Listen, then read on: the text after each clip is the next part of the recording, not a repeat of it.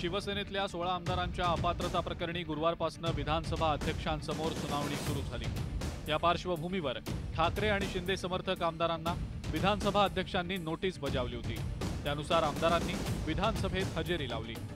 मात्र दोन्ही शिवसेनेतल्या या संघर्षाची झळ सरकारला पाठिंबा देणाऱ्या काही अपक्ष आमदारांना सुद्धा आहे भंडाऱ्यातले अपक्ष आमदार नरेंद्र भोंडेकर हे त्यापैकी एक.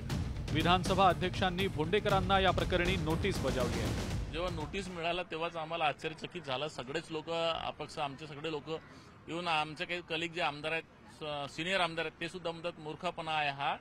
अपक्षांना काही पक्षाच्या चिन्हावरती काही निवडून आलेले नसतात. शिंदे फडणवीस सरकार बनली तर त्यांना आम्ही पाठिंबा दिलं दिलं याचा अर्थ त्यांनी आमच्यावरती कारवाईचे नोटीस द्यावं.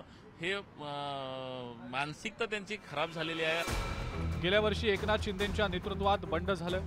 त्याला शिवसेनेतल्या चाळीस आमदारांनी पाठिंबा दिला होता. विशेष म्हणजे या बंडात दहा अपक्ष आमदारांचं शिंदेंना पाठबळ मिळालं होतं. त्यामध्ये भंडाऱ्याचे आमदार नरेंद्र भोंडेकर यांचाही समावेश होता.